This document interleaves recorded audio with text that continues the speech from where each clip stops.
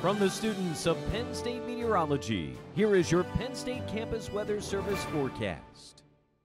Happy Friday, everyone. Penn State student meteorologist Brian Michigan here with a look at that CNET forecast for Friday afternoon. You can take a look at the view behind me, Beaver Stadium. It's a very overcast day out there and a temperature of 34 degrees, certainly a huge contrast to what we've had the past couple of days with some record-breaking high temperatures across the state. Again, 34 degrees feels like 22. That's all thanks to that west-northwest wind coming in at 21 miles per hour. So certainly a bit gusty as you head outside at the moment. Temperatures across central Pennsylvania getting into the lower 30s as you head north and west near Du Bois. However, as you look off to the south and east, Harrisburg still sitting in the upper 40s uh, for this time today. As we expand outwards, similar trend across the state. Philadelphia, 50 degrees currently. It was in the 60s earlier, but a cold front that moved through overnight has passed there and is now off the east coast, ushering in some of that cooler air that we're experiencing here in State College.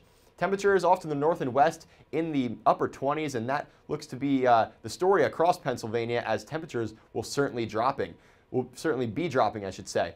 Uh, over the next, over the past 24 hours, we are down 30 degrees compared to this time yesterday in Bradford. Very similar story as we look west of the Allegheny front, down 28 in Du Bois compared to this time yesterday, and down 29 in Franklin. As we expand outwards, you can see, look at Nashville, almost down 40 degrees compared to this time yesterday. So that chillier Arctic air really surging its way into the eastern half of the country.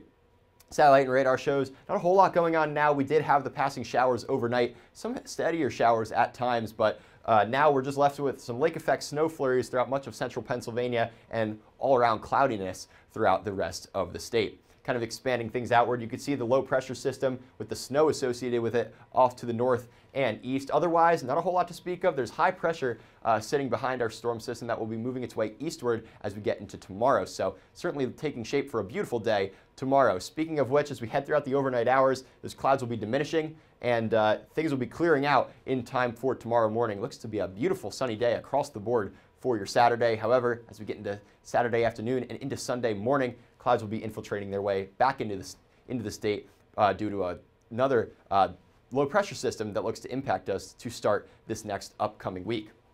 So we'll put that into motion for you. As we get into Monday, you can see the scattered shower chances um, across Pennsylvania for the day on Monday, especially into the uh, later afternoon and evening hours of Monday. We're going to get a brief clearing with some cloud cover advancing and another Great Lake low pressure system moving its way in for uh, at Tuesday at around noon. That's where we're going to see some more scattered showers make their way across the state. Could see some snow in the higher elevations north and northeast. But again, we're going to be drying out for Wednesday and coming into Thursday, another big system uh, takes shape uh, for us here in Pennsylvania, giving us some more widespread spread rain chances for the day on Thursday. Now for today, 21 degrees is going to be your low temperature. It's going to be chilly and blustery with those gusts, occasionally anywhere from 20 to even 30 miles per hour overnight tonight. Tomorrow, still going to be dealing with some of the wind. However, the sun's going to come out, and uh, it's going to be a nice day overall. Temperature lower 40s, sitting at 42. And uh, for your seven day forecast, you can see we're really going to start to clear out uh, for this weekend. Going to stay dry.